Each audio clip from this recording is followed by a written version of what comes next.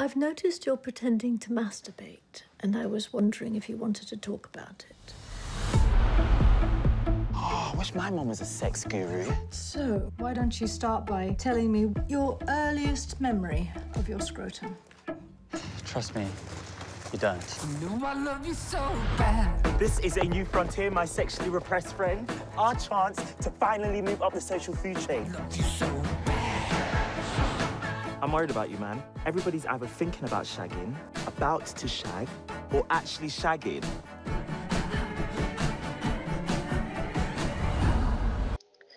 Eh bien bonjour à tous et bienvenue dans ce nouvel épisode du SV Universe, toujours en compagnie de Vega.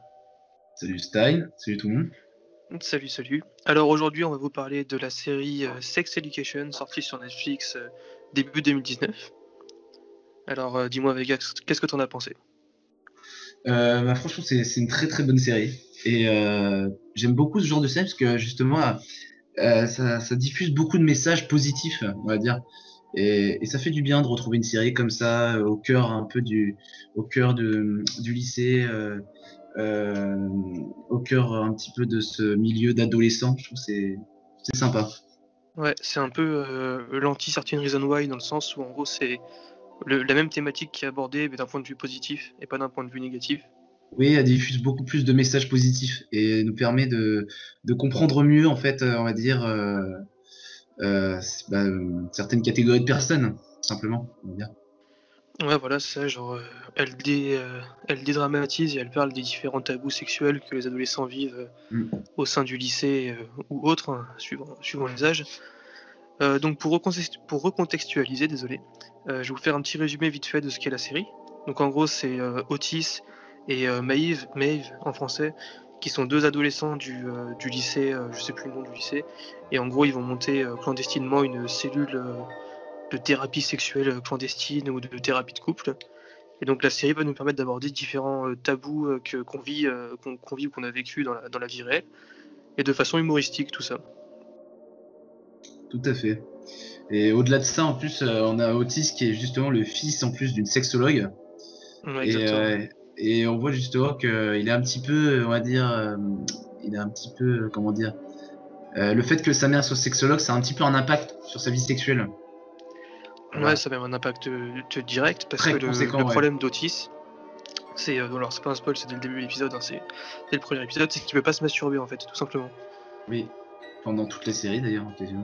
Dans toute la série d'ailleurs, quasiment. Ouais, c'est Ah ouais. c'est son, euh, c'est son problème quoi. C'est ce sur quoi il va devoir travailler en, écoutant les autres et en, en les aidant dans leur thérapie.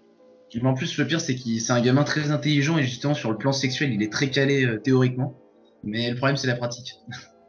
C'est ça. En fait, c'est au niveau théorique, il déchire tout. Genre, il est aussi bon que sa mère alors qu'il n'a jamais fait d'études.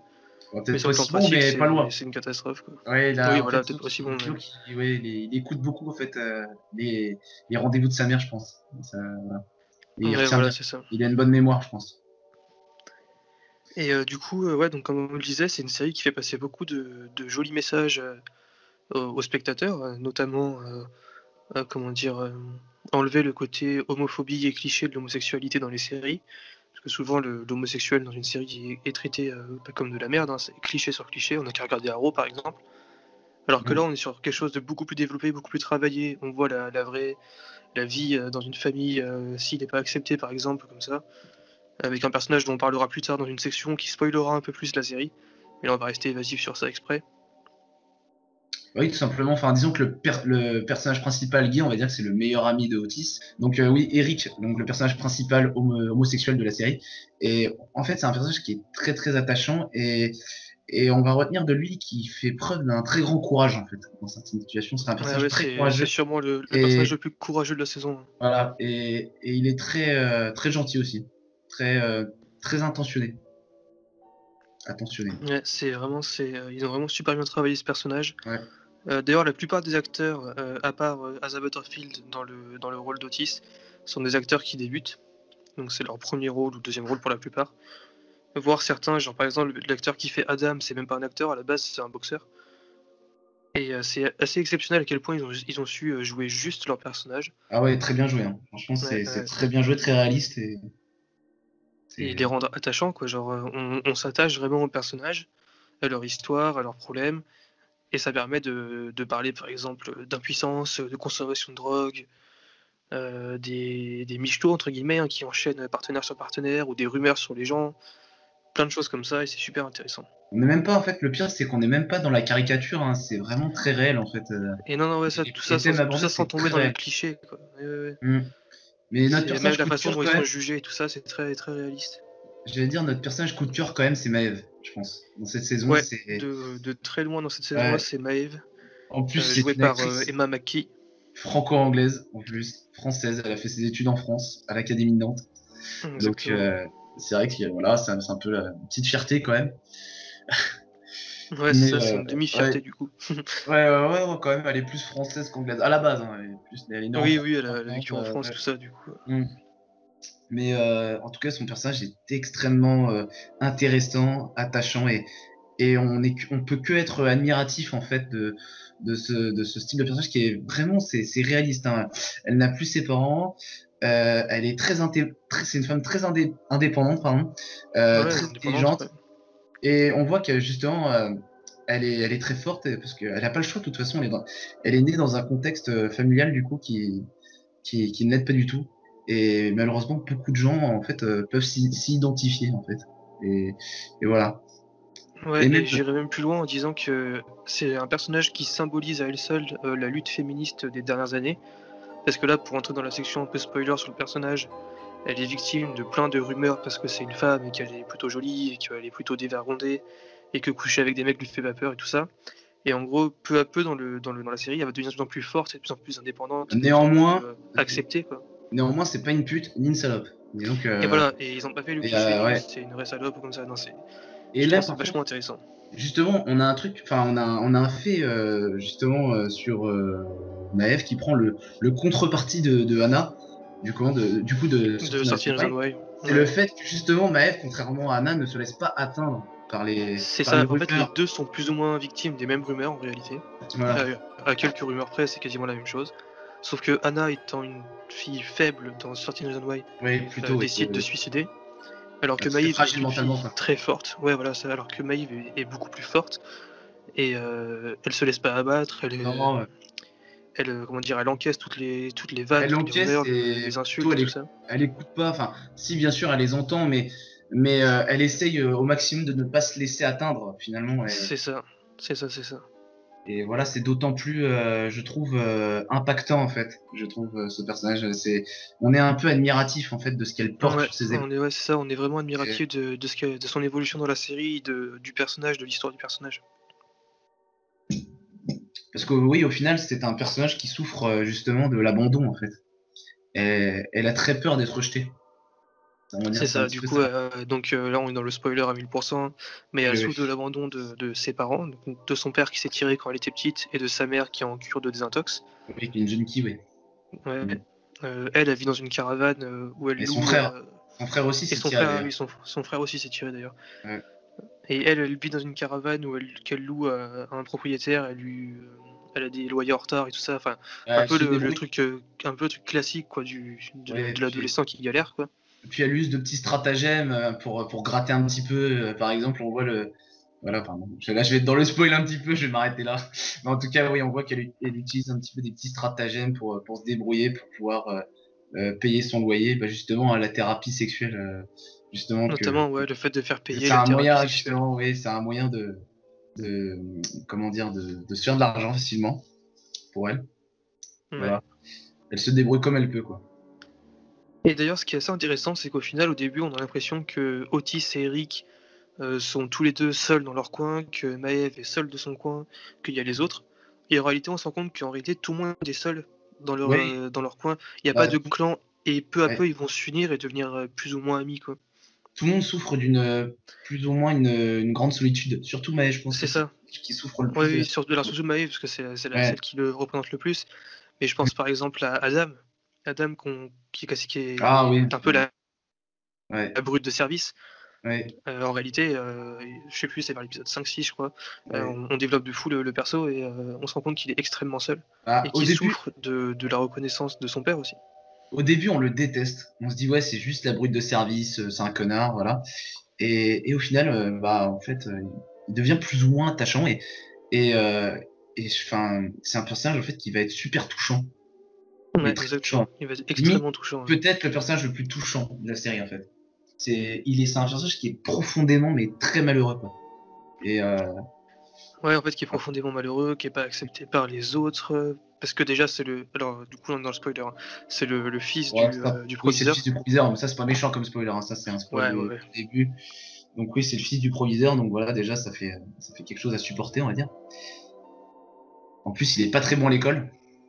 Et ouais, c'est ça, c'est Voilà. vraiment le, le mec décrochage scolaire, qui vient Voilà. pas en cours, qui fume beaucoup de cannabis, Mm. ce qui le rend impuissant auprès de sa copine. Mais en réalité, c'est plus profond que ça le problème. Oui, oui, plus profond, oui.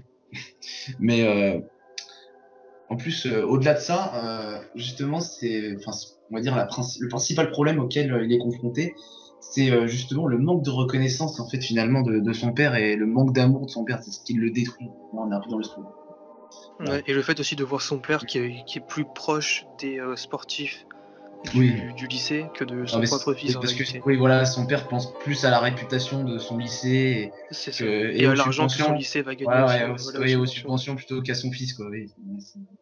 Voilà, donc ce qui en fait un personnage mais très très euh, touchant et, et vraiment on a hâte de voir ce qui, ce qui va devenir dans la saison 2. Parce qu'il n'a pas un dénouement. Surtout avec euh, ce qui lui arrive Ouais, à, à la Il n'a pas un dénouement vraiment euh, happy end.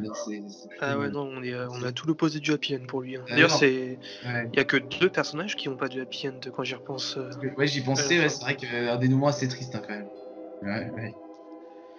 Ah Ouais, dans l'ensemble, c'est.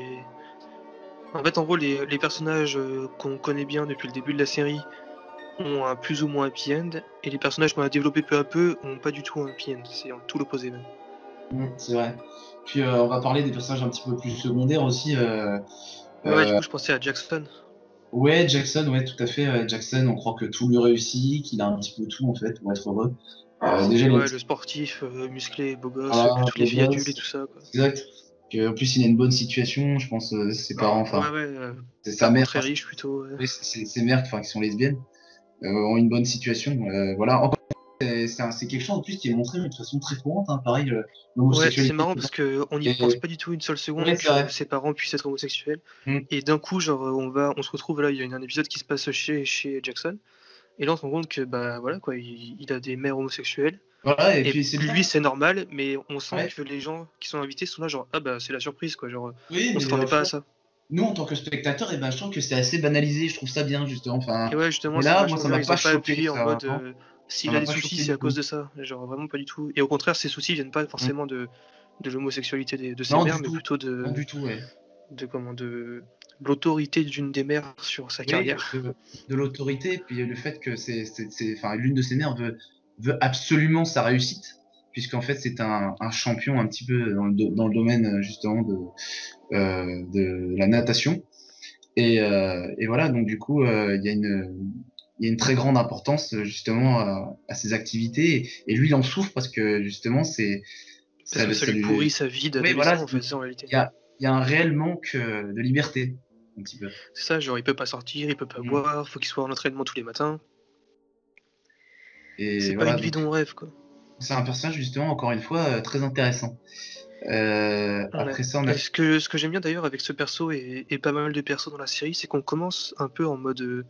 On a l'impression qu'ils vont être les personnages clichés euh, qu'on a l'habitude. oui, Et quasiment dès le début, au bout de 5 minutes, même pas de la présence, on se rend compte que c'est beaucoup mieux que ça et beaucoup plus développé, beaucoup plus profond. mm, c'est vrai. Et puis, euh, puis les personnages ont- font preuve euh, des fois de, de surprise. Par exemple, Jackson, euh, le choix qu'il fait à la fin, bah, j'ai trouvé ça plutôt très très beau de sa part. Je je sais pas si tu vois ce que je veux dire Ouais, ouais, si, si, ouais. par rapport à Maeve. Ah. Ouais, carrément, c'est ça que je pensais. ouais, c'est- C'était ouais, c'est- c'était plutôt. Il y a des euh, personnages qui font des sacrifices, on va dire, Ouais. dans, dans leur milieu social ou, ou dans leurs relations sociales. Mm. Et euh, c'est super intéressant. C'est des trucs auxquels on n'aurait pas pensé venant de ces personnages. Voilà, on va parler un petit peu plus des personnages euh, secondaires. Euh, disons, bah, il y a la mère d'Otis, Ouais, Euh, d'Otis, ouais. le clan un petit peu vegan, faux vegan, on va dire. Enfin, je sais pas, vegan. euh, Oui, ouais, non, c'est des faux vegans, euh, genre, euh, avec la scène du Lafi qui puis- ramène son sandwich. Et Ouais. toutes les autres qui lui sortent, ah non, mais t'es pas au courant, on est vegan maintenant. Genre, c'est une mode, tu vois, genre, il y a Ouais, zéro engagement là-dedans, c'est Ah, juste pour le c'est réaliste, hein, je suis sûr qu'en vrai c'est pareil. Et Ouais, puis, bah dans euh, les lycées, beaucoup, ouais. et puis bien sûr, c'est la classe populaire du lycée. Et oui, entendu, forcément, hein. voilà. Oui, forcément, euh, t'as t'as la, t'as la belle gonzesse, enfin la belle fille, pardon, euh, détestable. Très, elle est très jolie, hein, mais par contre, Ouais, ça, la, détestable. la belle un La peu latina, euh, La garce de insupportable. service. Ouais, la carte de service et, et voilà, c'est c'est plutôt, euh, plutôt intéressant parce que je pense qu'en fait, tous ces personnages qui n'ont pas été vraiment beaucoup développés dans la saison 1, euh, je pense qu'ils vont être davantage développés dans une saison 2. Donc c'est pour ça que Ouais, j'attends de je voir. pense aussi, ouais. On a le l'Indien. Je pense, ouais, je veux dire, je pensais surtout à, Ouais. à l'homosexuel, je sais plus son nom, euh, qui est Euh, hindou là. À Noir, non. Ah, à noir, c'est ça, ouais, ouais. Ouais, ouais, et justement, bah, en plus, à Noir, c'est un petit peu le love interest de, de Eric. De Eric, ouais. Enfin, réciproque, bien sûr, mais Eric est à fond, enfin, il est sous charme de, de Anwar, parce que c'est, bah, faut le dire, il est plutôt euh, beau gosse, euh, voilà, même si, voilà. Ah oui, c'est vraiment, euh, C'est- un peu l'opposé de, de l'Indien de Spider-Man Homecoming, quoi. Voilà. De, comment il s'appelle, Flash dans Spider-Man Homecoming. Bah, là, c'est l'opposé, c'est le côté vraiment beau gosse, musclé, Mm. populaire euh, auprès de tout le monde. Voilà, c'est le beau gosse homosexuel, un peu, un peu connard, faut le dire, un peu connard quand même, et Ouais, même populaire. carrément connard, hein, il traite un peu les autres comme de la merde quand Oui, même. on a aussi, justement, je me rappelle plus du nom de cette fille, c'est celle qui a, un, comme je dit, qui a un peu les grandes dents.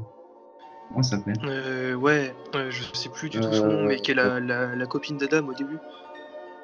Oui, qui- oui, oui, oui, oui, d'ailleurs, oui. D'ailleurs, a- on remarque qu'il n'y a pas vraiment de censure hein, sur les scènes de, sur les scènes de cul. hein. C'est vrai que. Ouais, euh, c'est vrai que les, les scènes. euh, C'est- Bah, c'est moins de 16 ans la série, hein, de toute façon. Oui, c'est vrai qu'on voit un petit peu tout, hein, clairement. Euh... Elle s'appelle pas Ruby? Euh, non. Euh, je sais pas. Ruby Je sais plus. J'ai regardé sur internet.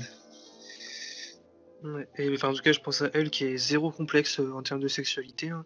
Mais en Et fait, du au coup, la, la série, elle va aborder des termes, des, ter- des, ter- des termes genre. euh, elle est très naïve euh, en fait. sodomie et tout ça, mais genre, ouais, ça, genre, elle, elle va le, elle va le dire en mode j'ai mangé une crêpe, tu vois, genre devant tout le monde. Voilà, c'est c'est très marrant parce qu'elle a fait, elle est, elle est très naïve et un peu, tr- un peu conne. Enfin, elle- mais elle est gentille, hein. Elle est très. Ouais, elle a un peu, ouais, elle a un peu, Ouais, ouais. mais un peu très d'infos naïve. aussi d'ailleurs sur les bords. Ah, ouais, ouais, ouais. Très Plus ou moins tout ce qui a du muscle, Ruby. elle saute dessus. Ouais, t'avais raison, c'est. Ouais, c'était bien Ruby. hein. Alors, c'est aimé, non? Euh, ouais, peut-être. Aimé, Euh. c'est qui déjà dans la série? Ouais, je sais plus. Attends, je regarde. Mais En tout cas, ouais, elle est vachement naïve et euh, je sais pas, elle a quoi 4 mecs dans la série en 8 épisodes, du genre.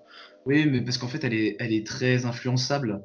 Elle est Euh, extrêmement influençable. Ouais, puis, euh, comme, tu- puis comme tu l'as dit, elle est un peu d'infos sur les bords. Euh, on va le voir à un moment. Et euh, Avec ouais, l'espèce de d'allemand ou suédois, je sais plus qui débarque. Qui- qui- de quoi? Ah le ah oui Le le, dernier mec qu'elle a. oui le joueur de hum, football américain non il me semble Ouais, voilà. Je crois que c'est ça. Oui. oui oui oui non mais oui et non mais justement c'est un peu marrant en fait euh, justement ces relations parce que c'est un peu n'importe quoi et euh, et voilà je trouve ça d'autant plus d'autant plus euh, Et ce bah, qui est marrant, c'est que elle, au final, elle passe pas pour la salope de service, et c'est Maeve qui passe pour la salope de service, alors que Maeve n'a jamais rien fait en fait. Enfin, à part avec euh, Jackson euh, en mode euh, tranquille, mais jamais, jamais autant que, que Ruby ou Aimé du coup, c'est plus son nom. Ruby, tiens d'ailleurs Ruby en fait c'est justement c'est la meuf qui est plutôt jolie, mais qui est la, ga- la garce de service. C'est Ruby, c'est ça. Ok, bah du coup ça doit être Aimé Voilà. alors. Voilà, c'est ça. C'est ce que je te disais. Ouais. Et euh, donc du coup l'autre, la meilleure amie on va dire, enfin entre guillemets, hein, de, de Ruby. Tu sais, euh, pareil l'autre euh, latino, je sais pas si elle est latino. Ah, celle, celle qui est jalouse. Oui, et qui répond. euh, ouais, voilà. Enfin, je ne vais pas spoiler. Mais euh, en tout cas c'est la fausse, on va dire euh, meilleure amie parce qu'en fait c'est très bien que dans ce clan il n'y a pas de réelle amitié. Oui, voilà. en réalité, tout ça c'est de la popularité. Voilà, c'est voilà, exactement, c'est une question de popularité, voilà. Et, euh, et parce qu'en fait justement Ruby avec elle, elle est infecte parce qu'elle lui envoie des pics, des vannes, et pas forcément très gentilles quoi. C'est pas des taquineries, hein, c'est de la méchanceté pure.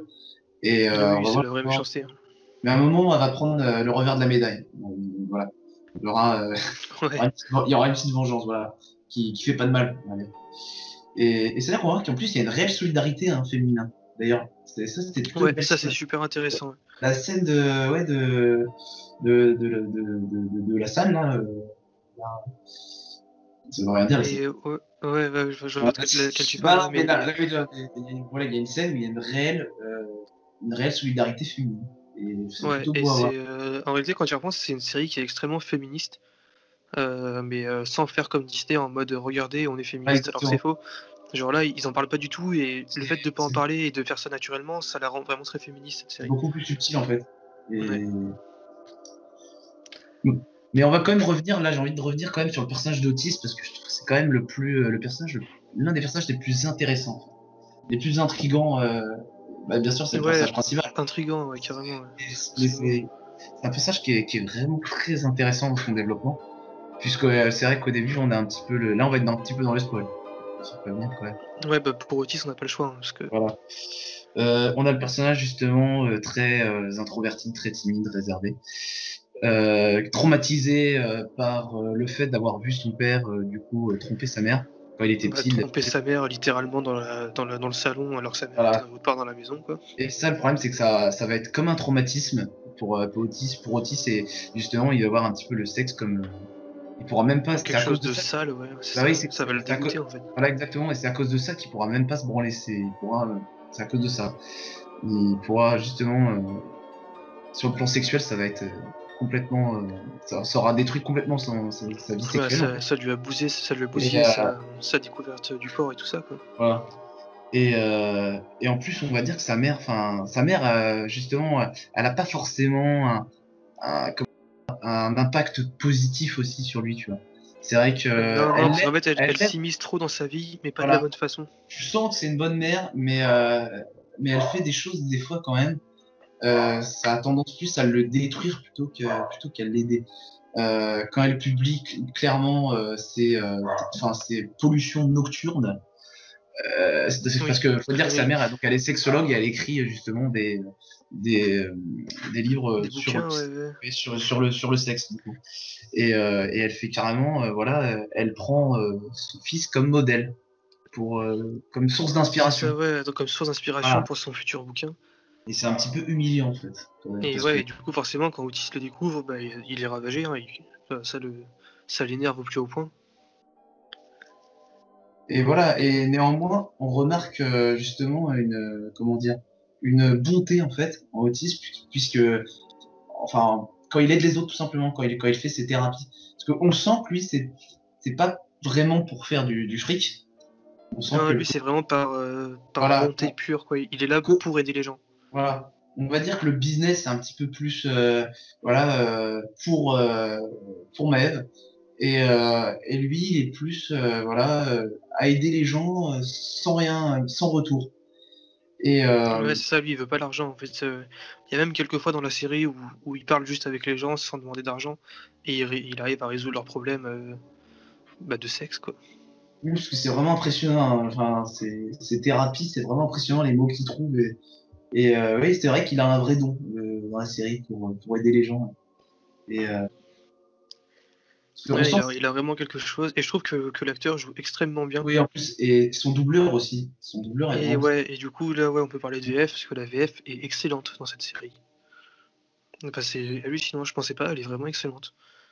Et puis euh, le personnage d'Otis, euh, ce que j'aime bien dans son développement, c'est qu'au début, justement, il le dit clairement qu'il veut, qu'il veut rester dans son coin, euh, qu'il veut que personne ne le remarque. Et en fait, au final, il est content en fait de, de franchir le pas. Et ça, au final, il est plus- content et il devient un peu une référence pour le lycée en Voilà. réalité. hein. C'est ça, il est content en fait d'être un peu plus reconnu, d'être, on va dire, plus respecté. Et euh, il le dit euh, justement à la fin. Et tout ça, c'est un petit peu, on va dire, grâce à Maëv et grâce. euh, Ouais, ça c'est vrai que c'est quelque chose qui est très bien dans la série aussi, c'est que les personnages s'apportent vraiment quelque chose l'un à l'autre. Mm. Et Otis, au, au fur et à mesure de la, de la saison 1, il est de plus en plus, euh, comment dire, à l'aise avec lui-même et, euh, et dans ses attitudes et tout ça. D'ailleurs, bah, la relation Maëv et Otis, c'est un petit peu la relation phare, euh, justement, et de, de- de la série. Et c'est une relation d'ailleurs Ouais, c'est un peu la, la relation qui, qui, fait tourner la série, en réalité c'est le fil rouge. Et en plus, c'est très touchant parce que justement, on sait qu'il y a une réelle attirance en fait des deux côtés. Je vais le tuer. Donc, on sait qu'il y a une réelle euh, attirance euh, des deux côtés. Que Otis, on le sait directement qu'il éprouve euh, des sentiments euh, justement pour pour pour Maëv dès le début. Euh, Maëv, Ouais. Maëv, c'est un petit peu, voilà, on, on sait pas trop, y a, on a un petit doute. Il y a quelque chose au début, on se dit c'est peut-être de l'amitié. Il y a, Peut-être, ouais, il y a un peu ces jeux de regard Voilà. qui, qui jouent beaucoup, mais on se dit, enfin, on a, on a un doute, c'est pas explicite. Voilà, on se dit il y a peut-être que de l'amitié. Mais, Surtout mais qu'ils amènent le sujet du frère, donc est-ce que d'un côté, elle, le verrait, pas en lui une sorte de frère perdu comme ça au début? Voilà. Et, euh, et au final, on se rend vite compte que non, qu'il y a autre chose, réellement. Le, le jeu d'acteur euh, de, de Maëv euh, nous fait tout de suite euh, penser en fait. Il y a, il y a un jeu de regard qui s'installe. vraiment, ça joue beaucoup sur les regards. Il y a quelque chose, il y a, y a quelque chose, tu le sens. Il y a un flottement dans l'air quand les deux personnages sont, sont dans, la même, dans la même pièce. Il y a quelque chose. Voilà, on le voit et puis euh, il y a une vraie alchimie entre les acteurs. hein. Voilà. Euh, on ressent la, la bonne ambiance. Voilà. Ils ont tous éclaté sur le tournage parce que, enfin, c'est tout est tout est pur. T'as l'impression que vraiment c'est pur. Oui, c'est facile en fait, c'est leur relation, est ça. c'est- Et pourtant, ils sont totalement différents. C'est ça qui est, c'est ça qui est incroyable, c'est qu'ils sont vraiment totalement différents. C'est, c'est plutôt, ouais, c'est, c'est plutôt Oui, surprenant. bah, comme euh, comme il dit dans la série, euh, elle c'est une lionne et lui c'est un kangourou. Quoi. Voilà, exactement. Et euh, ouais, non, mais ils sont vraiment totalement différents sur plein de plans. Et euh, justement, en fait, on a l'impression que Maëve, en fait, elle voudrait plus lui ressembler. C'est un petit peu genre, c'est un ouais, peu ça. Ouais. c'est un petit peu une source d'inspiration, en fait. C'est vrai que elle admis voudrait être au- aussi bon que Otis Voilà, et, réussir à être entre guillemets aussi discret, enfin aussi Voilà. noble Voilà, c'est ça. qu'il l'est naturellement. Quoi. Oui, et justement, cette scène où Otis euh, empêche euh, un personnage, justement, de, euh, de la série de se suicider, c'est là qu'on. c'est- une très très belle scène, c'est là qu'on voit que, que Maëve est totalement sous le charme d'Otis. Elle, elle Ah oui, ses oui, paroles, vraiment, elle est à ça, côté, ouais. elle le regarde, et, et là, c'est c'est vraiment une très très belle scène d'ailleurs. C'était super bien, enfin super bien amené en plus comme scène. Ouais. Parce que le personnage, il avait amené quelques épisodes plus tôt Voilà. euh, son problème, et le problème n'était pas résolu et on s'en foutait un peu parce que sa scène durait deux secondes dans l'épisode. Et en gros, peu à peu, on s'est rendu, enfin, euh, on, on s'est amené vers ce, ce point de non-retour où le personnage veut se suicider. Et euh, devant tout le monde, et là Otis il te sort un discours euh, qui dure quoi 3, minutes peut-être, oui, mais qui est, qui est magnifique. Enfin, c'est, euh, le discours il est au-delà de la série, c'est même pour les gens qui regardent et tout ça. Puis très classe le personnage. Là, on voit, il sort de l'ombre et il en impose quoi. Il a un véritable, un véritable charisme. Ouais, vraiment, ouais, il y y a un vrai charisme et euh, une vraie envie de bien faire dans cette série qui, euh, bah, qui, qui donne vraiment envie de voir la saison 2. Quoi. Enfin, à la fin de la saison 1, moi j'étais dégoûté par rapport à, à- à un arc narratif Oui. sur un personnage qui s'est pas qui s'est pas abouti de la façon dont j'aurais pensé. Oui, mais, c'est vrai. que- euh, mais du coup, ça donne envie de voir la saison 2. Quoi. Je pense qu'on n'est pas les seuls. hein. On n'est pas les seules Non, personnes. je pense à- qu'on est beaucoup euh, Ouais. à avoir eu cette, ce côté genre, bah Voilà. merde. C'est ça, en fait, on, on a adoré, on a adoré la série, les huit épisodes, mais c'est vrai que la fin, bah, on était un petit peu déçus en fait, euh, que ces deux personnages, voilà, ne, se. Voilà. C'est ça, on est déçus, mais en même temps, ça laisse une porte ouverte à une saison 2. C'est On aura enfin la conclusion qu'on veut. Quoi. c'est quasiment sûr qu'il y aura une saison 2 centrée sur ces deux personnages, sur la relation de ces deux personnages. Puisque, puisque Otis, justement, euh, il y a, on va dire, il y a un élément perturbateur qui arrive, c'est justement euh, cette jeune fille là. Donc, euh, Ouais, ouais, ouais, ce, ce le- nouveau personnage love- qui arrive vers la fin de la série. Ouais, le love interest un petit peu de, de Otis, qui n'est autre que la fille euh, du plombier. De... Du plombier qui vient récupérer, Voilà. qui vient réparer, euh, qui, qui Voilà. vient réparer la mer, on peut le dire. Oui, j'allais dire pas que la plomberie, voilà. Ouais, pas que la plomberie de la baraque, ouais, c'est vrai. Et en plus, ce personnage il est vachement intéressant, hein, très, enfin le personnage un peu plombier, un peu bourru, euh, voilà. Ouais, euh, un peu abîmé par et- la vie, tout ça, enfin, des Voilà, tatouages exact, partout. exact. Non, vraiment, en plus, je trouve que l'acteur a vraiment la classe. Ouais, carrément. Et puis, euh, puis justement, la mère d'Otis, à un moment, elle se trompe un petit peu parce qu'elle veut l'analyser. Et cette scène, j'ai trouvé assez touchante ouais, aussi. elle foire un peu son analyse Ouais, en étant euh, totalement euh, C'est pas désorientée. Ah, c'est pas qu'elle foire un petit peu, c'est qu'elle foire Oui, complètement. enfin, elle foire euh, complètement Euh, complètement. Et au final, on découvre le passé un peu de ce personnage et euh, on se dit, waouh, pareil. euh, Ouais, c'est un personnage qui a- sûr, un personnage qui a de la profondeur, encore une fois. Et, ouais.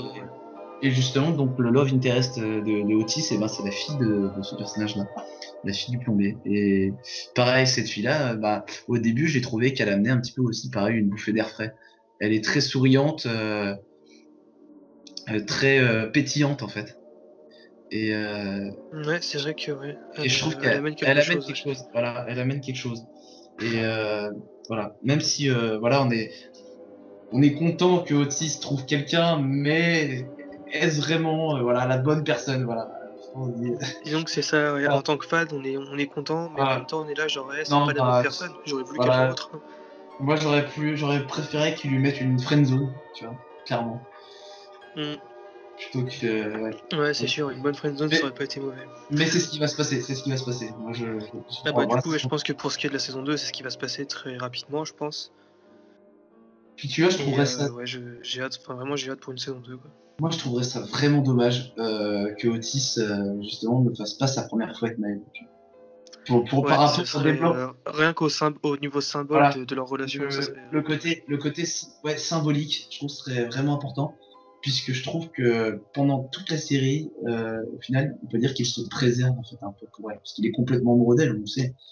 Et, Ouais, euh, parce qu'en fait, c'est vrai, il aurait pu le faire plein de fois pendant la série, et non, à chaque fois, il, il y a un truc qui le bloque comme ça, et on est, à- enfin, moi j'interprète comme ça, c'est qu'au final, euh, maintenant, il, enfin, il faut que ce soit elle, quoi, j'aurais pas le choix. Oui, tout à fait. Et puis moi, je le vois pas le faire avec une autre fille, parce que on s'est très, enfin, c'est beaucoup attaché à ces deux personnages. En fait, je pense que c'est les personnages les plus appréciés, euh, même euh, de la série. Très loin, d'ailleurs, c'est les deux protagonistes pour moi. Enfin, c'est sûr, c'est les deux protagonistes. Et voilà. oui, c'est sûr, c'est les deux, les deux persos principaux. ouais. Oui, on le sent et on aimerait justement, on aimerait plus. On aimerait qu'il y ait plus. Du coup, on attend avec impatience l'officialisation d'une saison 2 par Netflix dans les jours à venir, je pense. euh, oui. Euh, dans les deux, dans les mois à venir, dans les deux mois à venir. Oui, enfin, je pense que d'ici une semaine ou deux, il y aura une officialisation comme quoi ils font une saison 2. Parce que la série a l'air de beaucoup marcher. Et niveau- au niveau critique, c'est un- un- une réussite totale. Ah bah oui, mais que ce soit la presse euh, étrangère ou française, c'est adoré partout. Et pareil pour les spectateurs, quoi. parfaitement logique. hein. Oui, puis c'est une série qui le mérite et qui diffuse tellement de bons messages euh, pour la société. C'est ça. Euh, sur- surtout, en fait, elle sort au bon moment, en plus que genre, euh, c'est un peu la merde au niveau société en ce moment, genre les gens s'aiment plus trop. Et là, c'est une série qui diffuse le bonheur, quoi. Elle diffuse plein de bons messages. Elle s'appelle en plus Sex Education, donc on pourrait se dire euh, sexe. Donc voilà, ça tourne autour du sexe. Oui, ça tourne autour du sexe. C'est vrai. Mais c'est pas, ça tourne pas. Ouais, comme, que ça. par fait. exemple, par exemple, ça tourne pas autour du sexe comme American Pie. C'est pas des blagues lourdes Oui, et, euh, voilà, et ouais, et irréalistes un petit peu. Des sketchs Oui, voilà, c'est ça. Genre, on est vraiment sur du, sur du beaucoup plus réaliste et, et des vrais problèmes sexuels que rencontrent Voilà. certains. Et On est vraiment sur des problèmes sexuels d'adolescents. C'est Ouais, impressionnant. Bah, par exemple, euh, moi je vois euh, la scène où Otis, euh, voilà, a une petite, éjac- enfin, une petite éjaculation nocturne. Et tu vois, il est affligé, honteusement gêné, et euh, tu le vois, il met son drap en boule, il le met sous le lit, il est complètement Ouais, il le met sous le lit, tout ça. Et voilà, puis on, peut, on peut se reconnaître à ça, bien sûr, tu vois, c'est c'est très réaliste. c'est Ouais, bah ouais, bah, ils prennent des trucs qui existent Mm. vraiment, tout simplement. Oui, oui. C'est pas comme le truc, on va dire, des chaussettes, c'est pas comme le sketch des chaussettes dans American C'est pas comme le sketch des- Voilà, chaussettes qui- American Pie. ouais. Voilà, qui n'est pas réaliste, je trouve. Euh, ou même Pas, réaliste et pas hygiénique, hein, pas se Même, mentir. oui. Et puis même la tarte aux pommes, c'est grotesque. Personne. euh, Oui, enfin, c'est ouais, une minorité de personnes peut-être qui vont le faire, mais pas la majorité. Alors que le, le problème, voilà, justement, des éjaculations nocturnes, c'est quand même une grande majorité. On est quand même une grande majorité à avoir connu ça dans notre adolescence. là. Donc, euh, Bah oui, oui, c'est quand le corps se transforme, tout ça, je veux dire, c'est ah ouais. c'est hormonal, quoi. Voilà, tout à fait. Et, et on voit par exemple encore sa mère qui s'immisce un petit peu euh, dans sa vie et, et voilà, qui, qui fouille un petit peu. Elle se permet de regarder sous le lit, elle prend le drap, elle découvre ça. Et, voilà. Et plutôt que de laisser comme ça et de faire semblant, j'ai rien vu, elle va mettre le drap à la machine, elle va bien le replier sur le lit pour le mettre en évidence. Elle va bien mettre, elle, elle va bien mettre tout l'entourage au courant, c'est-à-dire les, les patients. euh, Et voilà, c'est assez honteux. C'est un petit peu honteux. Puis on a des, des petits sketchs aussi marrants, puisque justement, euh, comment ça s'appelle justement D'ailleurs, faudrait que je retrouve. Tu sais le, le nom justement de la fille qu'on disait tout à l'heure, le Love Interest de, de Otis. Euh, je crois qu'elle s'appelle Ola, non? Ola, c'est ça, Ola. Et justement, on a la première rencontre de Ola et Otis qui est très drôle. Puisque justement, euh, on a euh, Otis qui est en train de regarder un porno. Sur son Ah PC. oui, oui. ouais. porno euh, bah, euh, de lesbienne, je crois. Euh, un, un porno lesbien pour euh, Voilà, résoudre un problème avec euh, un couple euh, Voilà. lesbienne. euh. En fait, c'était juste de la recherche. En plus, le pire, c'était juste de la recherche. Et, euh, et on a Ola qui débarque, euh, qui du coup, euh, qui veut aller aux toilettes. Et euh, du coup, elle monte et elle- D'ailleurs, tout le monde confond, je sais pas pourquoi, mais tout le monde confond Ouais, c'est le running gag de la série, ça, tout Voilà, le monde confond la chambre d'Otis avec les toilettes. Voilà. Donc elle ouvre la porte et qu'est-ce qu'elle trouve? Bah, Elle trouve euh, Otis euh, sur un porno lesbien. Et euh, donc Otis, ultra gêné, n'arrive pas à éteindre la vidéo, donc il ferme le PC et puis il dit que c'est pour des recherches. Donc bien sûr, elle ne le croit pas. Enfin, en même temps, ça paraît normal. Enfin, Oui, bah, Ça il en paraît- est sur une première rencontre Ouais, qui est vachement voilà. gênante quand même. quoi. voilà. Et j'ai trouvé ça marrant. C'est des petits, des petits sketchs comme ça qui sont, qui sont assez drôles. Tout comme euh, le sketch au début de la série avec euh, Anwar et, et Eric. Je sais pas si tu te rappelles, enfin les, les deux, les deux, homos- deux homosexuels de la série. Enfin, Ah, euh, tu parles de, la- de la soirée? Euh, non, avant, tu sais, au tout début, euh, premier épisode où t'as euh, justement Eric et Otis qui arrivent en cours. Et, et là, t'as. Euh, je crois que c'est Eric qui parle de Anwar, donc le gay populaire. Ah oui, et, oui, oui, et, et là, Anwar, du coup, dit à Eric Qu'est-ce que t'as à me regarder perverso? Et, et là, on a Eric, super marrant, parce que c'est un personnage qui est vachement extraverti, un petit peu qui fait des manières, et voilà, qui dit Ah, t'as vu, euh, il m'a parlé et tout. Et puis euh, là, on a Otis qui dit Ouais, enfin, il t'a traité de pervers quand même. Donc là, Ouais, ouais, c'est plutôt marrant, voilà, c'est des petits trucs comme ça euh, qui sont assez marrants. Voilà. Au-delà de ça, c'est vrai qu'on a des scènes assez marrantes comme ça, et puis on a des scènes assez touchantes, parce que c'est vrai qu'on n'a pas parlé tout à l'heure justement de la scène, l'une des scènes de fin, qui concerne Eric et euh, Adam. Ouais, ça c'est. Ouais, c'était, je pense que c'est la scène la plus touchante de la série d'ailleurs. Oui, tu sais, je parle bien de la scène où Eric euh, décide d'assumer son, son côté extraverti. Donc, Ouais, celle-là, ouais. il va au bal euh, du, du lycée euh, habillé, enfin vêtu, et. Quasiment habillé en femme en fait. Voilà, exactement. Et puis même pire, hein, c'est vraiment, euh, il y a du maquillage Oui, puis euh, multicolore, euh, Voilà, ouais, c'est de la folie quoi. Donc il, il se dirige vers euh, l'entrée et on a Adam euh, assis sur les marches avec sa clope, euh, du coup encore l'air triste, euh, qui voit euh, justement euh, Eric discuter avec son père. On a justement le père d'Eric qui dit justement qu'il a peur en fait pour Eric. Il a, il accepte en fait. C'est pas le, le Ouais, problème, c'est pas en que fait, c'est pas il, ouais, il accepte son homosexualité, dans un premier temps en fait, ne il a l'accepte peur que les gens Voilà. l'acceptent pas et qu'il Voilà, lui arrive ça. des emmerdes quoi. Exactement. Et justement, il va lui en arriver dans la série. Enfin, voilà. Et euh, donc, il a peur en fait des conséquences, en fait. Et, euh, et là, c'est une scène vraiment triste parce que justement, son père lui dit en plus, enfin touchant, pardon, parce qu'en plus son père lui dit, euh, oui, c'est vrai que je devrais prendre un petit peu plus, voilà, je devrais prendre un peu plus exemple sur mon fils pour son courage. Et il le prend. Ouais, ainsi. ouais. Et c'est il fait ça devant Adam en fait. Voilà. Et Adam, on voit Adam qui pleure carrément. Là, il, Ah oui, oui, on le clairement. voit derrière, il pleure. Et, et là, on a, et là, on- franchement, moi, j'ai, j'ai vu, mais là, c'était un déchirement parce que je, je me suis dit, ah, c'est vraiment triste quand même. Franchement, c'est, c'est là qu'on voit que Oui, parce que même si le personnage est, pleure. un- est une brute, euh, la brute Voilà. du service euh, du, du lycée, quand on connaît son histoire, en fait, il mérite pas ça. Genre, euh, il voit Ouais. ce qu'il rêve en fait. en fait, ce Il qu'il voit veut- ce dont voilà. il rêve, ouais. Ouais, c'est ce qu'il voudrait en fait. Il voudrait une relation avec son père en fait. Il voudrait, euh, il voudrait, euh, voilà, de la- enfin, l'amour de son père, tout simplement. L'amour de son père et que son père l'accepte tel qu'il est Voilà. en réalité. Voilà. Et, euh, et voilà, tout simplement, euh, je trouve que. Et le, puis la relation Eric et Adam, donc, euh, qui va évoluer. Hein. Dans le premier temps, on a la Ouais, brute ouais, qui, dure toute la saison en réalité. hein. Ouais, la, la brute un petit peu. Mais D'ailleurs, il s'en prend tout le temps, Eric. D'ailleurs, je sais pas si Ouais, c'est Eric, c'est le souffle Ah. de Adam. Voilà, Il y a une raison. Il y a une raison qui va être. Voilà, qui sera abordé, dévoilé. ouais, qui sera dévoilé dans une scène ouais. qui est, enfin, qui est qu'on attend parce qu'on le sait peu à peu, mais euh, qui est super, qui est super bien amené, je trouve. Moi, je t'avais dit, Thomas, euh, dès le début euh, de la série, quand euh, justement Adam avait des problèmes d'impuissance, je t'ai dit, il est gay. Je t'ai dit, euh, je te l'ai dit, c'est sûr. Et on- au, au début, on pensait que c'était lié à la drogue. hein. Mais voilà, finalement, c'est pas lié à la drogue. Non, finalement, c'est qu'en fait, il aime beaucoup Eric. Voilà, exactement. Mais il osait pas se l'avouer. Parce qu'il Ouais, avait du coup, il préfère le taper que, que Voilà, il avait peur du jugement de son père, en fait. Tout simplement. Parce que son père, faut le dire, euh, le proviseur, Ah c'est bah, un, son père, euh, c'est un, serré- un- c'est un pourri et c'est Ah, un vrai connard. quoi. Ouais, c'est ouais, un vrai connard, son père, tout à fait. Et on le voit dans la série. Ouais, c'est- le père, euh, il fait des promesses aux élèves et il y tient pas. C'est non, c'est un vrai connard. Ah oui, non, c'est-. Ah oui, non, lui, il pense qu'il y a une chose, c'est les subventions, c'est voilà, la réputation de son lycée. C'est tout. Ah ouais, ouais. Le reste, euh, il s'en fout. Euh, ouais.